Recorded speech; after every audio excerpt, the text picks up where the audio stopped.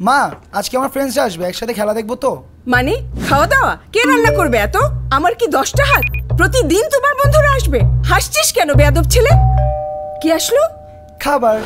food প্যান্ডায় খাবার delivery শুধু fast না super fast super fast right